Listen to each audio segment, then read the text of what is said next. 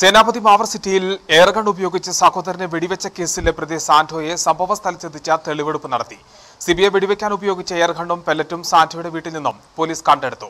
നെടുങ്കണ്ടം കോടതിയിൽ ഹാജരാക്കിയ പ്രതിയെ റിമാൻഡ് ചെയ്തു.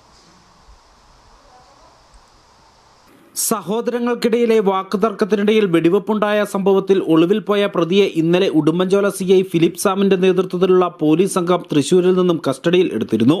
തൃശൂരിൽ നിന്നും കർണാടകയിലേക്ക് കടക്കുവാനുള്ള പദ്ധതിയായിരുന്നു പ്രതിയുടേത്. സാന്റോയുടെ സുഹൃത്തുക്കളെ കേന്ദ്രീകരിച്ച് പോലീസ് നടത്തിയ അന്വേഷണത്തിലാണ് സാന്റോ തൃശൂരിൽ ഉണ്ടെന്ന കാര്യം വ്യക്തമാകുന്നത്. തുടർന്ന് ഇന്നലെ വൈകുന്നേരം നാല് മണിയോടെ തൃശൂരിൽ നിന്നും സാന്റോയെ ഉടുമ്പൻചോല സി ഐ ഫിലിപ്പ് സാമിന്റെ നേതൃത്വത്തിലുള്ള പോലീസ് സംഘം കസ്റ്റഡിയിലെടുക്കുകയായിരുന്നു ഇന്നലെ ഉടുമ്പൻചോല സ്റ്റേഷനിൽ എത്തിച്ച് നടത്തിയ ചോദ്യം ചെയ്യലിൽ കുറ്റം സംബന്ധിച്ച പ്രതിയെ സംഭവസ്ഥലത്ത് എത്തിച്ച തെളിവെടുപ്പ് നടത്തി. സേനാപതി പഞ്ചായത്തിലെ മാവർ സിറ്റിയിലെ വീട്ടിൽ നിന്നും വെടിവെക്കുവാൻ ഉപയോഗിച്ച എയർഗണ്ണും പെല്ലറ്റും പോലീസ് കണ്ടെടുത്തു. മാവർ സിറ്റിയിലെ സാന്റോയുടെ വീട്ടുമുറ്റത്ത് എന്തോ കൂട്ടി തീയിട്ടത് തെളിവ് നശിപ്പിക്കുവാനുള്ള ശ്രമം ആണോ എന്ന് സംശയിച്ച ഇന്നലെ ഫോറൻസിക് വിദഗ്ധർ വീട്ടിലെത്തി പരിശോധന നടത്തിയിരുന്നു.